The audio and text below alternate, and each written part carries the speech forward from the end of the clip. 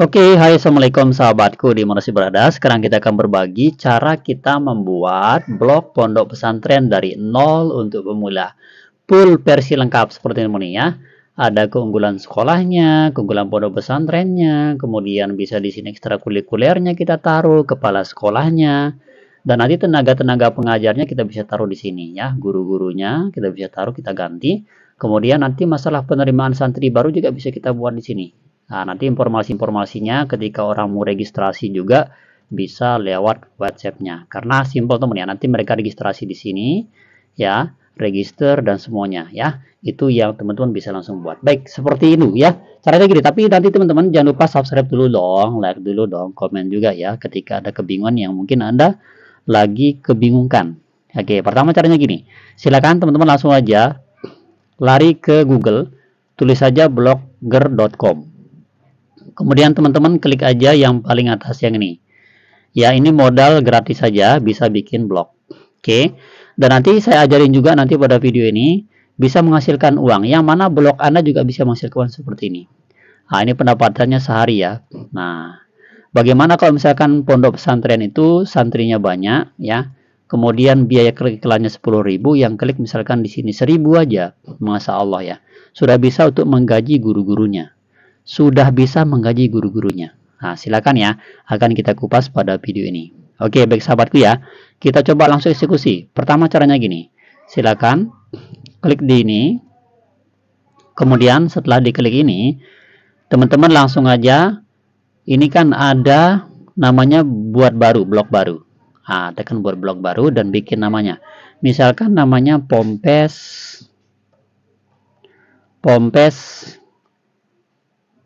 Sukajaya. Oke, ini sekedar contoh aja ya. Tekan berikutnya. Kemudian kita buat nama bloknya. Ini kan yang paling penting nih nama bloknya ya. Nah, alamat blok ini tersedia. Nah, ini menandakan dia tersedia. Nah, sekarang teman-teman, ini kan masih blogspot nih. Ya, kalau dia masih blogspot tidak bisa menghasilkan uang seperti ini. Tidak bisa sekarang ya. Kalau dulu bisa, tapi sekarang tidak bisa. Jadi harus dia ber.com ya.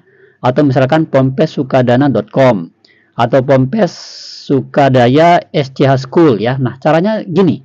Teman-teman langsung aja beli domainnya ya. Beli domainnya di Niaga Hoster ya. Beli domainnya di Niaga Hoster dan kebetulan lagi ada diskon 75% nih. 75%. Nah, nanti tentu tinggal beli nih. Ya, ini ada penawaran-penawarannya untuk harganya murah sekali ya. Ini untuk yang hosting ya ada 20 5 per bulan, tinggal teman-teman pilih ya. Ada bisnis juga. Nah, nanti untuk beli domainnya, cek domainnya ketersediaannya itu di paling bawah. Nah, di sini ya. Teman-teman tinggal tulis uh, nama pompesnya, Pompes Sukajaya misalkan ya. Kita tekan cari. Oke, kira-kira apa yang cocok nih domainnya ya? Kita lihat di sini nih.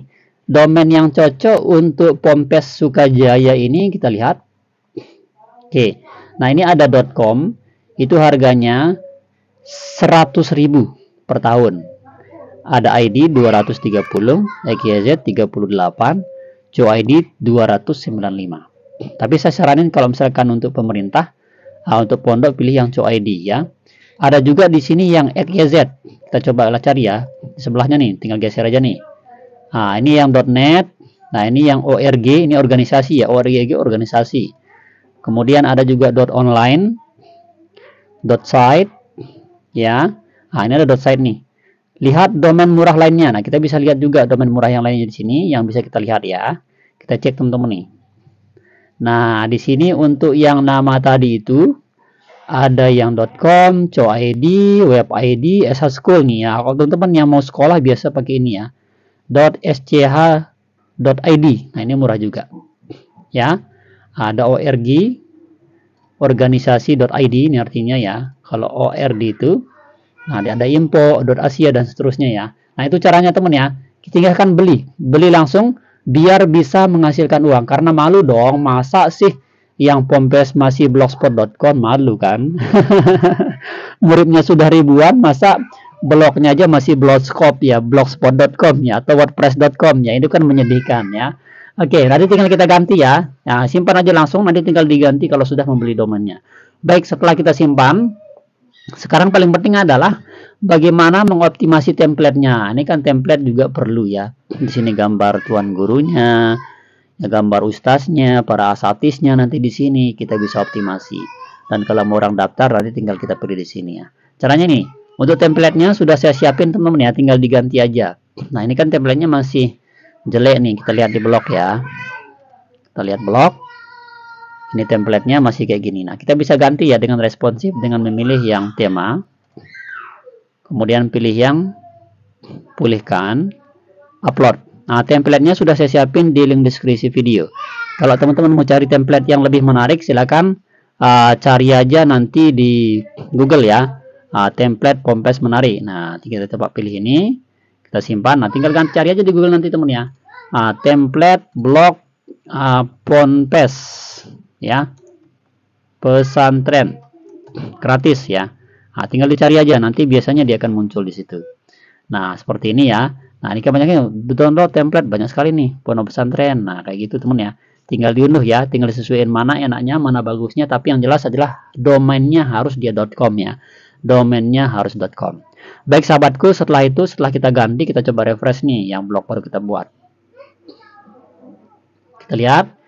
Nah, tampilannya seperti ini. Nah, nanti ada menu registrasi dan login nanti untuk apa namanya?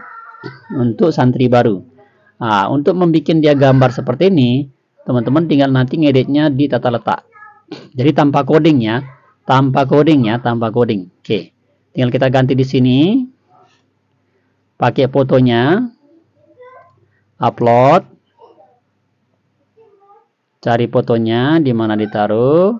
Oke seperti ini ya oke kemudian ini diaktifin dan tekan simpan. Oh ini judulnya harus diganti ya. Misalkan di sini uh, tenaga pengajar. Ah, simpan. Kemudian yang ini kita ganti misalkan capsek ya. Ah, atau asatis. Para ustaznya ya. Oke kita upload ini sekitar contoh aja ya nanti teman-teman tinggal optimasi deh pelan-pelan oke asatisnya di sini oke ini kita aktifin dan kita simpan dan kita simpan lagi Baik, setelah kita simpan kita lihat hasilnya ya. Oke, yang ini dia kan teman ya. Kita coba refresh nih. Pompes Sukajaya blogspot.com ya. Nanti kan kalau udah beli tinggal dia.com. Nah, kayak gini nih. Nanti tinggal dilihat nih ini para asatisnya, ini tenaga pengajarnya dan seterusnya. Tinggal ditambah aja ya. Dan kualitas videonya harus bagus tentunya. Oke sahabatku, itu dia informasinya cara membuat blog pondok pesantren untuk pemula tanpa harus ngoding teman-teman ya tidak perlu ngoding ya jadi sangat simpel sudah kami siapin semua kelengkapannya di deskripsi video. Beli domainnya sudah ada diskon juga kemudian templatenya sudah dan sangat lengkap banget. Dan kalau mau jasa kami juga pakai silakan teman ya langsung di kolom komentar. Sekian assalamualaikum warahmatullahi wabarakatuh